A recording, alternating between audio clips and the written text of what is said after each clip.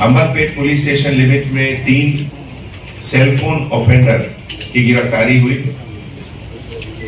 और ये तीनों ऑफेंडर जो है, सैयद मुजाहिद, जो कि मिनरवा स्कूल लेन, गीता मंदिर घाटकेश्वर मेडसर का रहने वाला है।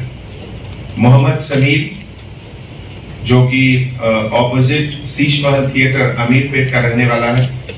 मोहम्मद नवाज़ लालबाग अंबरपेट का रहने वाला है। ये लोग छोटे छोटे वाइसेस के शिकार थे और बाद में उसी के तहत ये लोग सेलफोन स्नैचिंग में लग गए। और लास्ट जो जो क्राइम रजिस्टर हुआ 392 सेक्शन में crime number 100 by 2021 of Amberpet, उसमें जो इन्वेस्टिगेटिंग ऑफिसर है डी पिक्षापति एडिशनल इंस्पेक्टर और उनके पूरे टीम मिलकर सिक्स सेलफोन रिकवर किए। और उसके बाद में जो क्राइम टीम है अमरपेट के, वो लोग लगातार मेहनत किए जिससे कि 58 सेलफोन्स का रिकवरी हुआ, जिसमें हमारे एसएचओ बी मोहन कुमार, भिक्षापति, शिवानंदम, अमजद सतैया मोहन बाबू, अशोक, जगदीश तबरेज ये लोग सब मिलकर लगभग